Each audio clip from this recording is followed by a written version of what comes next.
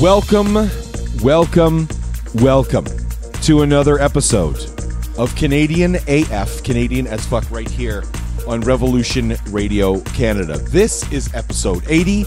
I am Craig G. Thank you so much for joining us. We've got our man Dimitri Alexiou. As always, Dimitri, love you. Uh, Yeah. Filling in for our man Derek Lewis, uh, who is unfortunately under the weather, and uh, our man Derek is actually going to be taking a little bit of time off. So filling in is an absolute true gentleman, the one and only at the Army, Kris. Thanks for joining us tonight, buddy. Greatly appreciate it. And of course, we've got Mad Dog Myers, Chris Myers. There's a couple of different names that we call this fellow by, but uh, he is a, uh, a Canadian radio staple. Uh, has been doing it uh, out in Edmonton for a very, very, very long time. So, Chris, thanks for joining us tonight, buddy. We greatly Thanks for having me. appreciate Yeah. you. Honestly, man, it's uh, we've wanted to have you on the show for a long time. So it's awesome that we have got you here tonight. We welcome. Everyone's going to have to put your hands together uh, we are welcoming our friend Mark Gane. He happens to play and is one of the founders of a little band that you may have heard of in Canada called Martha and the Muffins. Mark, thank you so much for joining us tonight. We greatly appreciate it, my friend. Thank you. Thanks for Hello, being here. everybody. Hi. Awesome. Thanks uh, again. We just really greatly appreciate your time. So, um, Dimitri, my man, take it away.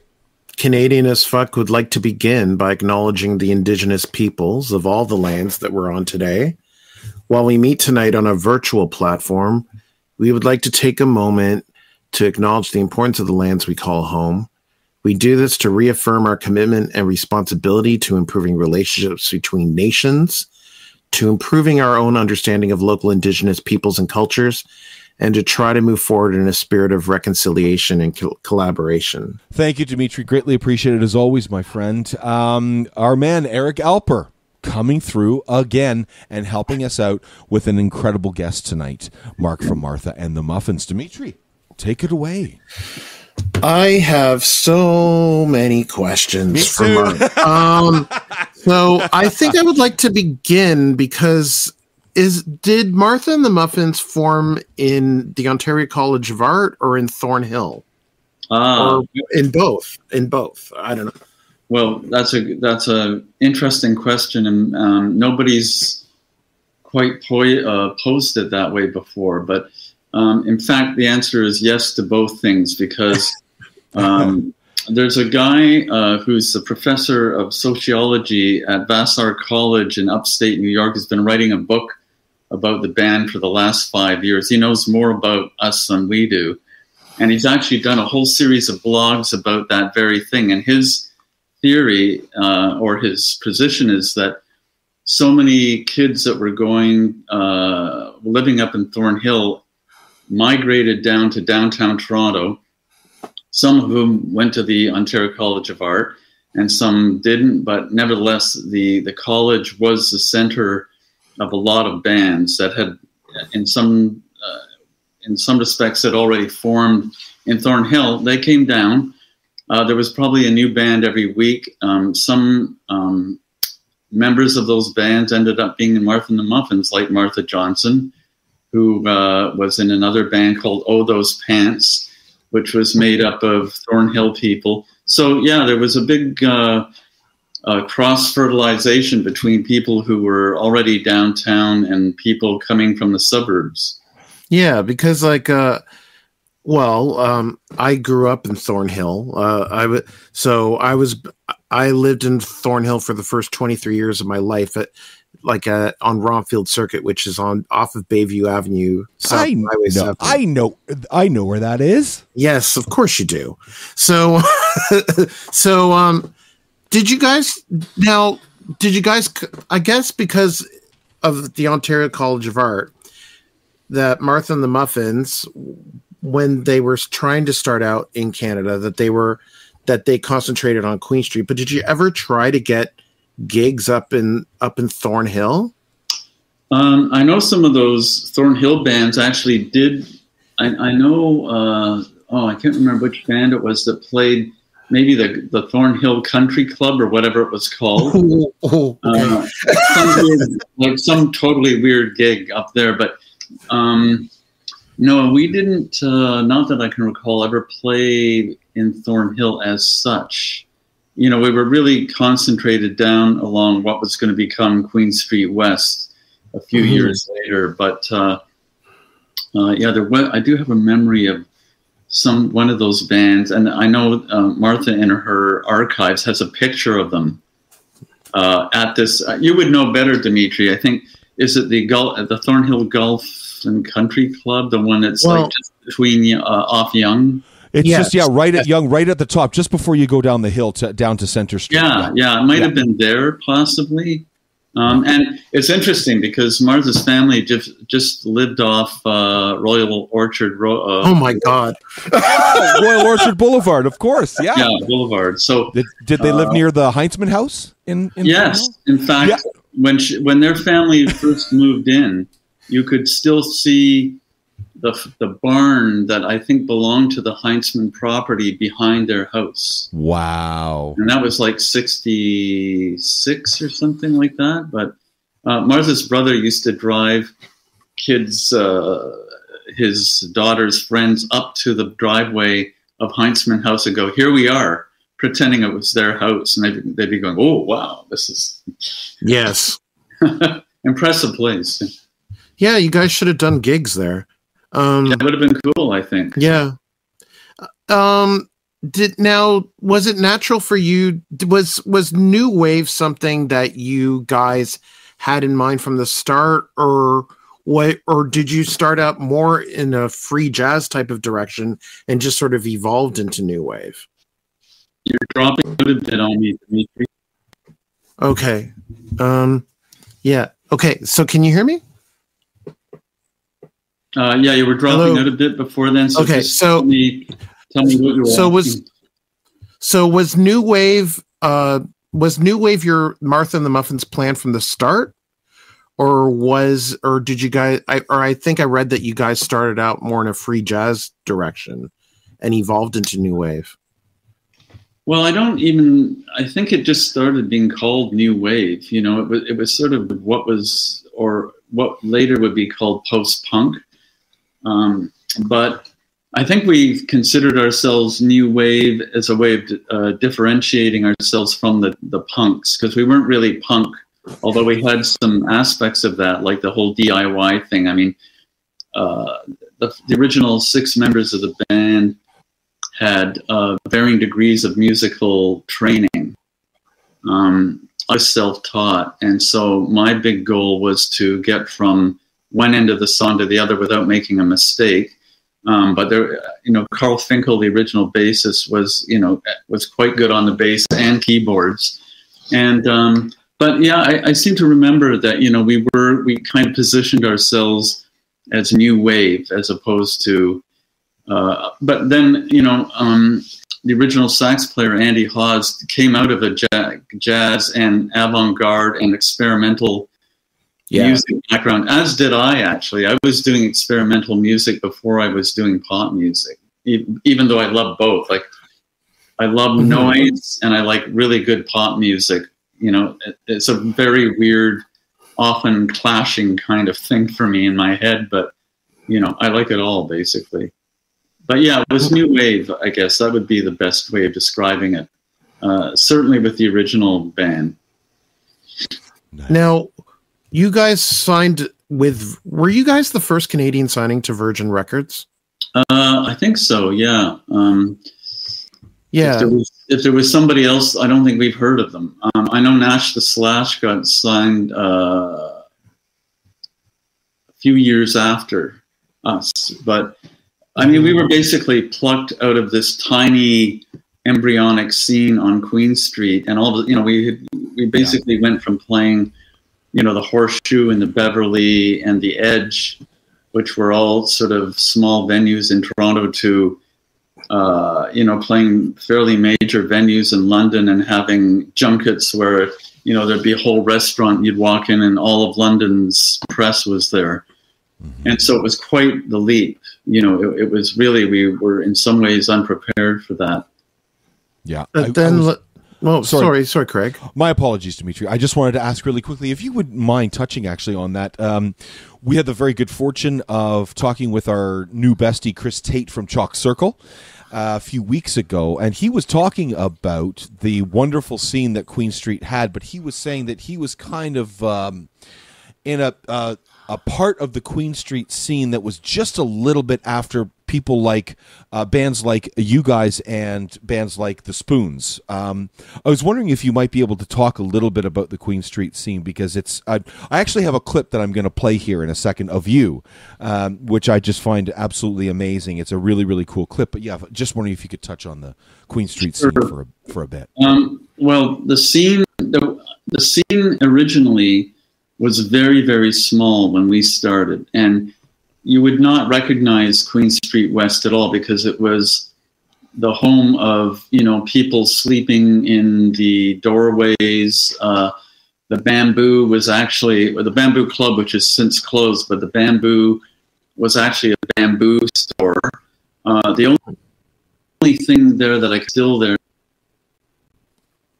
Peter Pan apart from was the front. The waiters and waitresses tended to be in local bands, but the, the basically the center of it was the Beverly Tavern, the Music Gallery, which was a block or two over, the Ontario College of Art, and the Experimental Arts uh, faculty of that in the old Brinks Safe building that was just south of the main uh, OCA building and it was very very small like uh, the beverly was kind of like the living room for all the students to hang out and the teachers.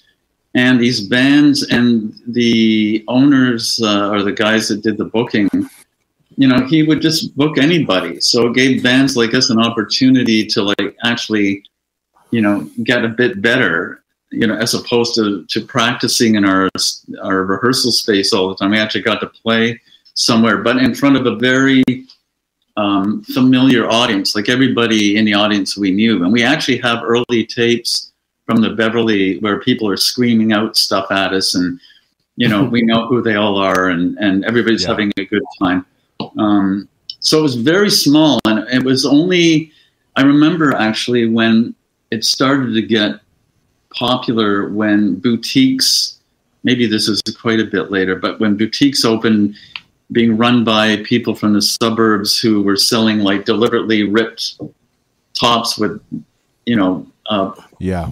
pins in them and safety pins. And, you know, by then it was all over. Like it was already late. Yeah. But um, from that, you know, I think I, I was talking to Johnny and the G, uh, John McLeod of Johnny and the G Rays, who was a, had a great band and uh, they still play from time to time. And he said, you know, Mark, our bands really started the whole Queen Street thing. It was the, the, the whole artists band scene that made other people want to come there.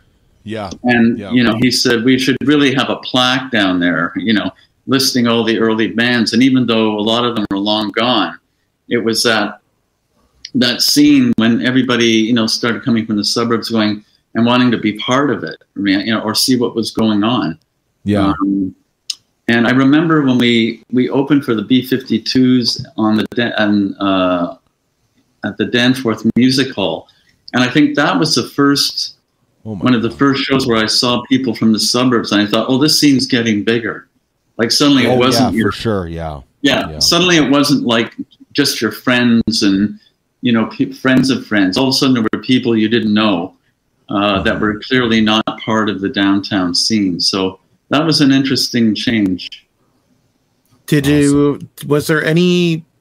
Was there any weird coexistence between the punks and the new wave people, like Viletones and Martha and the Muffins? Did they get along? Um, yeah, I don't know. Like, uh, I mean, I guess the band that would be considered punk. Did that you guys rumble? yeah, yeah, it was like West Side Story, you know. Uh, nice. yeah, it didn't come to that. Um, but we were pretty close with the diodes because I think maybe all of them were going to the Ontario College of Art and they rehearsed in the um, in the uh, experimental arts uh, building as well. And um, but no, we didn't. Uh, our band really didn't have a lot to do with the punk scene. Um, they weren't necessarily separate, but in terms of our band, anyway, you know, we we kind of hung out with bands more like the G Rays and uh, the Dishes. Stephen Davey, who started, was one of the founding members of the Dishes, uh, and is sadly not with us anymore. But he was a huge influence on that whole scene. I mean, one of the reasons I, when I was asked to start a band by my fellow uh, art student David Miller, it was because of the Dishes, you know, and and I just thought, yeah, they're pretty cool. We could do something like that. Um, but so yeah, for us it was more like the art arty bands, you know. Yeah. As opposed to, and I know the I know the uh, I, I was just I was just going to. Whoops, am I am I echoing? Mm-hmm. Turn, Turn down the reverb. Yeah. Um, um, yeah. Suddenly, yeah, suddenly. So, so something, something happened, happened here. here. Is it maybe that? Let's, yeah, let's I think it was that. I think it was that. But um, okay. Yeah, we're Mark, back. you sound okay? Yeah, okay. So if, if I may, Dimitri, I'm going to stop you there. Sorry. This actually ties perfectly into what Mark has literally just been talking about because this is a, uh, a on a fellow by the name of Karim Mosna on uh, their YouTube page. I don't know that this is the person that actually did this documentary, but it's a wonderful, wonderful documentary featuring the likes of people like Danny Elwell somebody named ooh, David Marsden, uh, Alan Cross, who just happened to be my program director uh, at the time. I just want to play a little clip here because this is actually a great uh, interview with Mark from Martha in the Muffins uh, for this awesome um, little pokey radio station called CFNY in downtown Toronto. And everyone just kind of shares their awesome stories about how everyone managed to get their start through this radio station. So hopefully you guys can hear this audio. Let me know. Give me thumbs up if you can hear the audio here, okay? And make sure that the sound is up. And here we go. Do all the heavy lifting. Um, making the song familiar to the audience. And then when the song reached a certain level of popularity, well, then other stations would jump on it. And the station became known for breaking new bands. So when, for example, Martha the Muffins, Echo Beach came on, uh, you know, that was 1979. That was the Metro Music album. Uh, CFNY played it, became a hit. Then it be, gravitated to other radio stations. And uh, some people would say, oh, I've heard that, that CFNY played it. And we'd also get credit from record labels and from managers and from the bands themselves saying, you know what, nobody would play this band, play our songs before you did. So, uh, you know, we're loyal to you. And, and anything that comes along, we will give it to you first nine to five, I have to spend my time at work. My job is very boring, I'm an office clerk. The only thing that helps me pass the time away is knowing I'll be back at Echo Beach someday. In 19, I think 79, we put out a little self-produced single with two songs called uh, Insect Love and Suburban Dream. And they were, that station was incredibly supportive. And they said, We're going to play this and we're going to play it at you know Sunday night at 7 p.m. And so we all got near the radio to hear that, and they did play it, and you know it was absolutely thrilling because uh, we had no idea that any station was going to play any of our music. The instruction was we listened to everything. They would bring it in.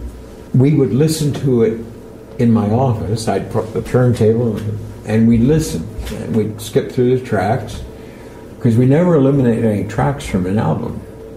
An album had to be good all the way through or it didn't go in. Uh, and then we would vote on it. The three of us would vote yay or nay. And if it got a yay, then it went in. If it got a nay, then it went to listen to it one more time next week. Everything was given three chances before it was before it was excluded. Yes, it was the music, but you know, it's the personalities too. You know, and and and the, this is Ivor personalities Hamilton. from you know the time frame, whether that be uh, you know. Uh, uh, uh the Pete and Geets, who, or the Morning Show, or Brad McNally, or the All Night Andre, to, to uh, uh, James Scott, or Ron Bushell, Alive Earl Jive, all those people. You know, people remember those. They still remember those those jocks. I mean, you know, ask um, most people about, you know, who do you remember on you know a Q107 or a Chum FM back in those days, most of the time what you'll get is most people will remember, you know, a Roger Rick in Marilyn, or they'll remember, um, you know, a brother Jake on a Q107. But you ask people about CFNY, they'll most people remember just about everybody who was there all the time. So everybody kind of had, um, you know, their memories of each you know segment of, of what we did did programming wise. Whenever I did an interview with any um, uh, with a person who was a prospect who Mark comes back here in a second. I never asked them questions like could they do it. I never asked them questions like what's your past experience. I never asked questions like what university or college did you attend. I did ask questions that would lead me to find out whether or not they had the passion to do what has to be done, to do what we did at CFNY. That's all that ever, ever mattered to me. The, the other stuff to me is just bullshit. All that matters is do I see passion in an individual's eyes? Do I think that they are going to just be prepared to work, work, work, and do, do, do for only one reason love? When you started going into radio stations or you started getting involved with record companies, you went, wow, a lot of these people, it's just a job for them. They might as well be selling Kleenex or, you know, toilet paper or something. Like they just go, yeah, it's a job, you know, and we got this format coming out and blah. And you go, wow. And, and that even makes, you know, a, a, a station like CFNY even more special because they were like an island of radio where you went, when I listen to this guy, I know he really likes what he's playing. Being commercial. That was just an absolutely incredible interview that you did, Mark. Um, even well, me I... working there in the early 2000s, I felt I had so much pride working there because I knew I wasn't a part of the Spirit of Radio era of CFNY, and that's okay.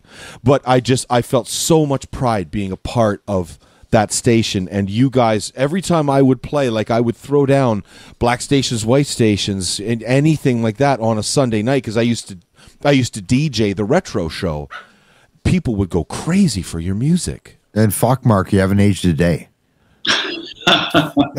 I, I, have a special filter here going. nice.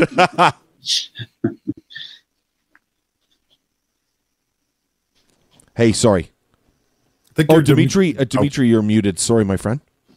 That's why I was wondering. Dimitri's always on it. okay, so for, before we before we uh we start talking about your um your awesome cover for what it's worth, um, I just have to. I just have a few questions about your time with Virgin Records, um, because we uh, a couple months ago, Craig and I interviewed Metric, uh, somebody, a band that Martha has compared to Mar- Martha and the Muffins uh, in, a, in an in an interview that I read. Um, so, and uh, and Metric were saying one of the things that Emily said was that if Metric had been on a major label, it would have killed them.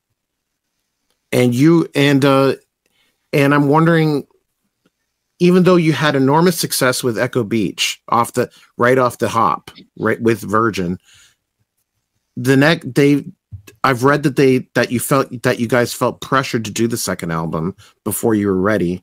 And then and then when you started working with Dan, Daniel Lanois, This is the Ice Age, because he was unknown, they were not enthusiastic and they cut your budget. And so, yeah, so. uh, yeah, it's all true. Um, you know, everybody, when I was in high school, and, you know, I think uh, the Mike Oldfield, the second album came out, Hergest Ridge, and I used to look at the album cover, and it was shot at the Manor Studios, and I think he recorded there, and I thought, wow, would that ever be cool going there? Would it ever be cool, you know, recording? And I had no aspirations for being in a band. And then you know, we were signed with Virgin. We drove up to the manor where we did our first two albums. I thought, I can't believe this. And the same three Irish wolfhounds that sort of one of which appears on the, that cover of Mike Oldfield was running around the fields. I thought, this is too much. I, but, you know, it, it was true. Like uh, uh, with the second album, a lot of it was mainly songs that we'd already written. Um, we were rushed into it. I mean, the second album came out the same year as the first, and we were under Wow. enormous. pressure. I remember Carol Wilson, who was head of the DinDisc division of Virgin, going, "You know, this is all good stuff on the second album, but we don't hear another Echo Beach." And I, maybe in not so many words, I said, "Well, there's probably not going to be another one because I'm moving on to. I'm trying new things." And you know, we were very, very naive. You know, I mean, there was no such thing as rock school or you know online blogs about the music biz. I mean, we were just babes in the woods, and um, we didn't have a manager, so uh, we were. Hmm. You know, there was no, there was no um, filtering. You didn't between the band. You didn't have a manager for your first two records? no. No. Wow. Um, Wow. Okay. How did that? How did that? Mark, Mark, how, how did that work out? acted like man. Well, it didn't work out very well at all because we had really, you know, big confrontations with uh, Yeah. Carol Wilson, and Okay. um, uh, you know, I remember like we'd have there was fights about whether we what photo we should put on the inside of Metro Music, and the British pressing. They woke us up, I think, at 6 a.m. and took us to some back alley in London with a bunch of garbage cans and took a picture of us. And we all looked like we just woke up. And the Canadian version, we said, we're just dumping that because it has no, you know, connection with the, the kind of classy map of Toronto. So a friend of mine Yeah. from high school took another shot, which I thought was where we're all just lined up. But uh, it was a lot better. But we had those kind of fights. And, you know, when we were recording, Richard Branson would come up and, you know, it, it was very interesting with Richard because um, he always had to be the center of attention, you know, and he would always be pulling these like practical jokes, but they weren't really practical jokes. It was more like I'm the alpha dog, and you know, so he threw Martha Ladly, the second Martha at the time, into a garbage can, and another oh, time we were having dinner, and he was supposed to show up, and he was late, and he went. You know, he was standing over Carol Wilson with a glass. He said, "Can I have a glass of water?" You know, and he goes, "Oh my God, I'm late," and deliberately poured it on her lap. And he was always oh, doing things that were kind of like supposed to be funny, but they weren't really. You know, like Wow. and so we had a real we had a real wake up call about what the industry was kind of about, you know, and it wasn't about creativity particularly. It wasn't about artists getting to do what they wanted to do. It was more like, when are you going to do another Echo Beach, you know? And the great thing about uh, working, yeah, I mean, and the great thing about working with Dan Lanois was that, uh, yeah, they didn't know who he was. He wasn't famous at that point, and you know, they weren't really that interested in us anymore. But they did, you know, want to do a third album. They said, "Well, if you're going to use this unknown guy, we're going to cut." And I can't remember now whether it was ten thousand bucks or ten thousand pounds, which is significant, but Yes. nevertheless, we just went fine. And you know, throughout the recording of that, which was done at Grand Avenue in uh, in Hamilton for the most part, no record company person ever appeared. We just did what we wanted, which And was it's a fantastic album. You know, it was It's a fan- and it's still a fantastic album. This is the Ice Age. Yeah. that is still record. a fantastic album. Yeah. Um. So you guys. Well, I think it goes to- right. Uh, yeah, like I, then we got we we got Jerry Young as a manager who was working for uh, who was he working for? Oh, one of the big labels is an A, uh, sort of an A and R guy, and we and he um, became friendly with us because uh, oh God, help me here, guys. Who was distributing Was that Virgin in Canada then? Uh, oh God, I have Virgin a like brain EMI, here. right? Wasn't it? Wasn't it Capitol EMI? Uh, not then. No. No. No, it wasn't- it well, wasn't, anyway, uh, so whatever the label was, whatever the label was, he was part of it, and we kind of got friendly with him, and we were really desperate for a, for a manager, and he seemed to be a guy who would help protect us, which he did, like a ferocious pit bull. Um, and so at that point, we had Jerry. We had met Dan through uh, his sister Jocelyn, who joined the band as the bass player, and happened to say, "Oh, I've got two brothers in Hamilton with a studio, and you know, do you want to go and cut a demo there for the next album?" He said, "Well, you know, sure, we'll try it out." And we got on so well that you know we ended up doing three albums with him, and he was kind of like uh, George Martin was to the Beatles for us. You know, like Yeah. there was no idea too weird for you know Mark the art college experimental musician to throw at him, and he just he'd be fine with it. You know, totally cool with it. Was was Mystery Walk the last record that you did with with with uh, Lanois? Uh, no, we Ice did Dance Age? Park, or this Dan- is the Ice Age. Oh Yeah, no, you're right. Park- Yeah, it was You this Dance is the Ice and then Age, Mystery Walk. Yeah, Danseparc, and Mystery Walk. Okay. Yeah. yeah, Yeah. Fan- Oh, triptych. yeah. So, but but but current is but you and Martha formed Current, right? Current the current label. Uh, no, it was more like Jerry, our manager, our lawyer at the time, Joe Fodor, and another guy. They knew uh, they did it, but I, I think at the time we were going, you know, we don't want to be with a label like Virgin, and um, I think they just answered the call, you know. So we were the first band. They they basically formed it for us, but we're obviously interested in getting other bands, and of course the Club were part of that later on. Um, so you know, the, they, there was a great little indie label for a while, and they really did um, stick up for us. I, I mean, when I look back on the kinds of albums we did, yeah, we had our commercial side, but we got away with a lot of weird shit. You know, like Yeah, yeah, Yeah. I mean, I don't even know how s- the late, you know, because it was uh, distributed. Current was distributed by RCA, later BMG, but um, I don't know how we got away with a lot of stuff. You know, I'm j- I'm just Um, wondering how you managed to get away with "The World Is a Ball" having background singers in Tony Levin and Jerry Marotta, literally to one of the like one of the finest drummers and one of the finest bass players ever in history, being background singers for you guys. That's incredible. Like I just I just I just find that amazing. I I would have figured you would have looked at them and and you know saw the personnel listing and it would say Tony Levin on bass and Jerry Marotta on drums, but they're background vocalists. So Well, I yeah, Jerry- kinda- um, Tony did play bass and and actually played stick on two of the songs on that album.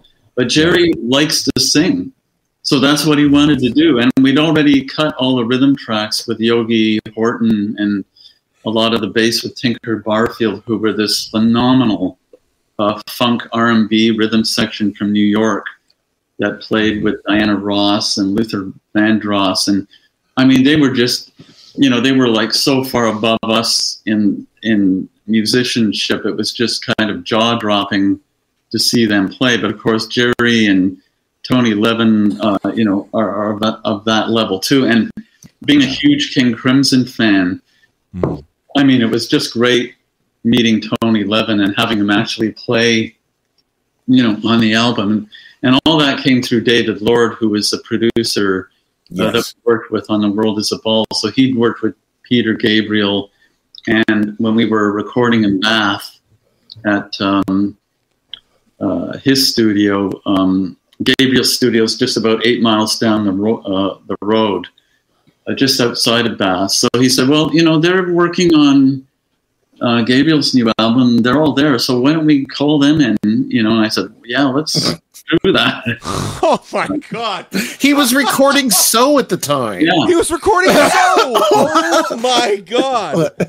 So Um, Martha and, and- the Muffins are hanging out with Peter. Get, well, I think was that uh, Real World Studios? Is Yeah, that- but it was Real World, It was, yeah. it was real world when it was still in his barn oh the my foot of god! Solsbury Hill. But but um, we did, and you know, when Dan was recording that, we did meet him. I think at least once while we were recording. We we met at a restaurant in Bath, and uh, it was the middle of the summer, and he walked in with a big sort of Michelin Man coat on, and he goes, "It's always so cold here."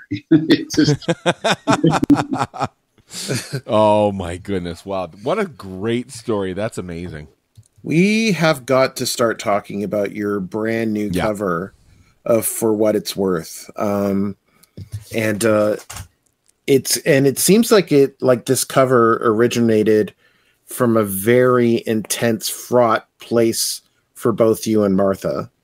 Um, and uh, so you have you you approach the song from a an area a very dark and dramatic area and it's because of the impact on of gun violence on indirectly and and somewhat directly to both you and Martha. So I was I guess I kind of asking you to talk about begin by talking about that.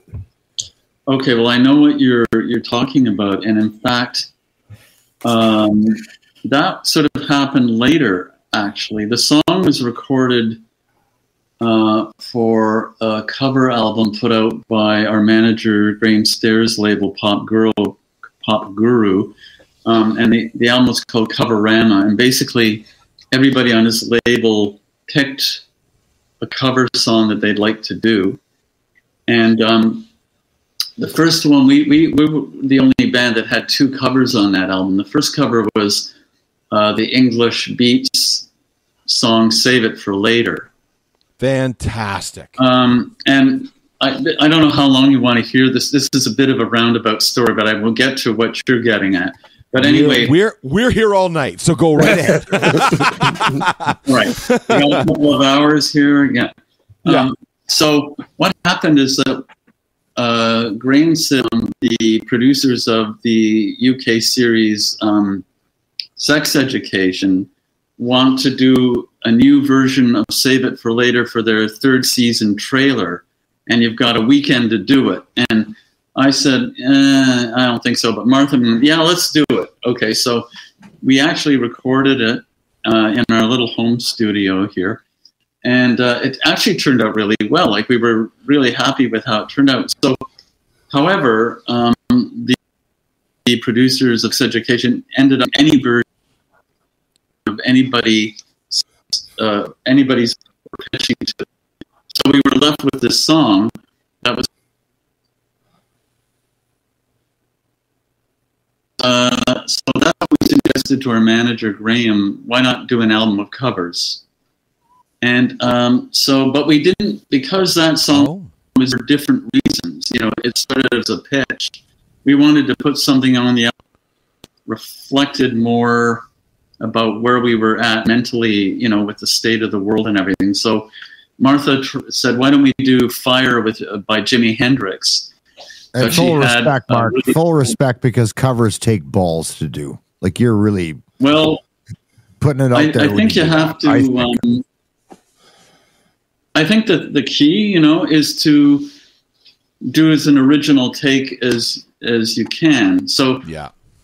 you know, we tried out Sure, Fire by that's- Hendrix, that's and had like a, she had an early like cassette of it, you know, just singing. And I thought this is great, but it didn't work out for various reasons. So um, we s- decided to do for what it's worth because you know the whole gun violence thing has kind of gotten out of control in Toronto and a lot of places, and what we used to take for granted uh, is no longer the case in a lot of things.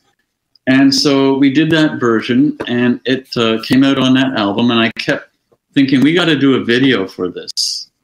So somewhere between the making of the video of the recording of the song, making the video, we woke up one morning to hear on the radio that there'd been a mass shooting in Vaughan, Ontario, which is just north of uh, Toronto, north of Thornhill, actually.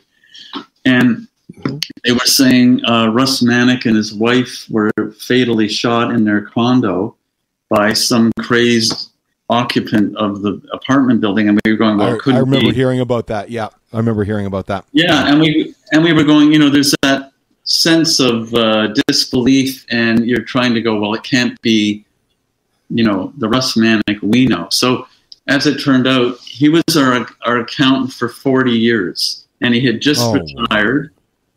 And there was some guy. Uh, he was a member of the condo board, and this crazy guy was all paranoid about what the condo board was doing, and he ended up shooting three members.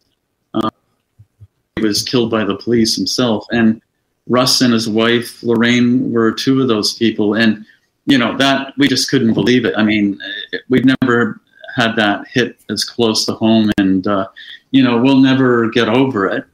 I mean, you get you come to you try and come to terms with it, but I know Martha and I still think about it, and uh, you know we can't. Uh, I don't think you can process it really. You know, I don't know how you process something like that. And then, Yeah. oddly enough, when we chose uh, Jason Ciperone to do the directing and filming of the video, he said, "Yeah, I that's terrible." And he said, "It's come close to home uh, to me as well because he was in his apartment and he heard a gunshot and he opened the door and there was a guy, you know, shot in the leg right in front of his door, bleeding all over the floor. And when we shot the scene in the video where there's a long apartment hallway in Jason's building, there's still like bullet ricochet chunks out of the floor near, near the elevator. So, you know, there was that weird added dimension uh, that we could have never, uh, you know, anticipated at all. Um, Yeah. And I and I noticed that you also chose to film the video along the Da- lo- mu- much of the video along the Danforth. And, yeah, we, uh, and there was and a, we all and yes, and we all know the the shooting that happened on July second, twenty eighteen. yes. Um, and along there, along that stretch, and so that took balls. That was a ballsy choice too. Well, you know, we just, I think, um, you know, the interesting thing about For What It's Worth is that it, um, it's a container that, depending on what you're feeling at the time, the, the lyrics seem to suit all the, I think it's been a hundred and some odd, you know, covers of it. And everybody's interpreted it, you know, with their own sensibilities. Like, um, uh, the Staple Singers did a version. Of course, that was through their experience as black people, and it has a whole other feeling when they sing it, you know. And and we just wanted to. It's always been a song. I, I mean, we were probably about 10, 11, 12 when that song came out, and you know the whole uh, "Stop Children, What's That Sound? Everybody look what's going down." Like that sounds like today sadly like i mean Yeah. you know I, I thought when i heard that song when i was a kid i thought yeah but the world's going to be better when we're adults and i'm not sure that we can say that you know and so the song has a longevity Not, not in my experience. No. yeah um you know so uh we used it for the the you know the feelings we were having about the gun violence and the idea of the video was that um, we would shoot it with these two people walking through ordinary Toronto environments, except they have revolvers for heads, and nobody's paying attention to them. You know, and that was sort of our statement. Like maybe it's become so commonplace, people just, uh, you know, it's in the news every day, and um, we were pretty paranoid about making it. We thought we might be attacked on the street by people, and in fact, the very opposite happened. When people knew what we were doing, you know, they they were really really supportive, um, which That's was amazing. interesting. I, I found that very hopeful, actually. Well, Oh, absolutely. it's an awesome. It's a yeah. We're gonna we're gonna throw to the video, and um, I guess uh, thank you so much, uh, Mark Gane of Martha and the Muffins for hanging out with us and answering all of our questions, and uh, and our love and respect to Martha. You know, so um, so please give it give her our best. Well, she sends her best to all of you. I don't know if you know, she's got Parkinson's disease. Yes. Yeah. Mhm. And sometimes she, you know, when we were arranging all these interviews with Eric Alper, I said, you know, she has her up and downs with the drug regimen. Uh, as you probably know from Michael J. Fox, you know, you you take your drugs and you have a peak, and then you have a trough, and so she's finding it sometimes quite hard to. Uh, her speech is gets jittery as well, and uh, so she said, you know, I'm going to pass on this one because I'm not really feeling that great. But she wanted to say hello to everybody and and, mm-hmm. and, thank you for for having us on the show for sure as oh, well. We, just, we absolutely just send our just undying love to to both of you. You guys are just we just absolutely adore you and well, thank you it's, so much. It's very you know we we don't take it for granted, you know. Yeah. so, um, so uh, right now keeps us going. Yeah. yeah. Oh, absolutely. So right now we're going to play for everyone uh, this awesome new video of uh, Martha and the Muffins cover of "For What It's Worth" by Buffalo Springfield. Um, and uh, have a great night, uh, Mar- Mark and Martha. And uh, this is uh, "For What It's Worth" by Martha and the Muffins on Canadian as Fuck on Revolution Radio. Thanks again so much, Mark. We greatly Thank appreciate you, your time. Thank you. Appreciate you, brother. Again, I sincerely hope that the audio works. Here we go. Thumbs up. Thanks, Mark.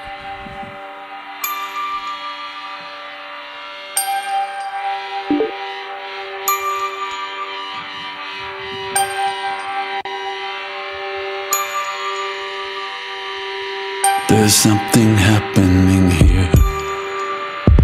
What it is ain't exactly clear.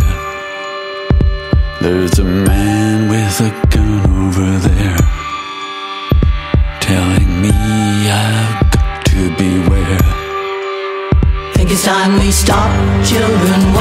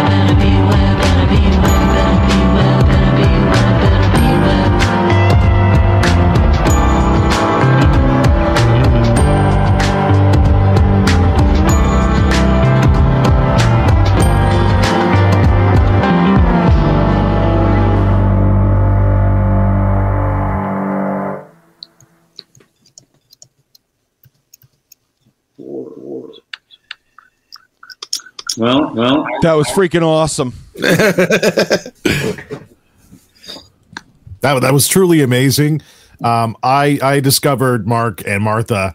Uh, I grew up in the '80s uh, in Saskatchewan. Saskatchewan wasn't really known as a hotbed for new wave. There wasn't a lot of it on the radio. So thank God at that time for MuchMusic, and uh, you know M plus M at that time, of course, when when when the channel debuted, and I became an instant fan. And and, and the videos just had the coolest coolest visuals, and were totally on par with a lot of the big budget stuff coming out of the U.S. So uh, seeing this music video and just how powerful it is, and again, it's it's it's the it's those visuals. You you guys just nailed it. Well, you know, when you're when you're doing that, you kind of, you know, like when you're making anything, like whether it's a song or a video, you kind of go, "Are we on the right track here? Is this going to be crap or is it going to work?" And I think, you know, the reactions that we've had so far have been really good. So we had good feelings about it, but of course, you never know until it goes out into the world. And uh, you know, I, I think we, Martha and I, have been very happy, and Jason who shot Yeah. such a wonderful job shooting it. Uh, and you know our two good friends Susan and Stewart, who had to put those gun heads on on a hot day in I think it was June, um, and they were just Oh, about it. Oh, June. Okay. Wow, good for them. Awesome. Awesome, Mark. Thank you so much. My pleasure. Greatly guys. appreciate Uh, it. Uh, I'm going to sign off now. Um, I guess you're going to keep going on for hours and hours, but Yeah, not quite hours and hours, but it never we, uh, really ends. We yeah, that's that is true. Especially Hour. when you've got Hour. when you've got our we've got our friend Army Chris with us. But uh, no, we're gonna keep playing some great Canadian music. So um, you know, please, if you uh, you know want to check us out, uh, we are on Twitch. Uh, which is twitch.tv forward slash revolution radio canada. Thank you for allowing me to do this quick sell here uh, as well as uh, on youtube revolution radio tv so uh, we are uh, we're available at those those places. Or you can actually get us uh, on our it's actually probably the easiest place is our website which is revolutionradio.live as in live music. So uh, again mark thank you so much for everything. We really appreciate your time and all the All best to you and martha take care, guys. Have a Thanks good night. lot. You too. Mark, thanks, man. Easy.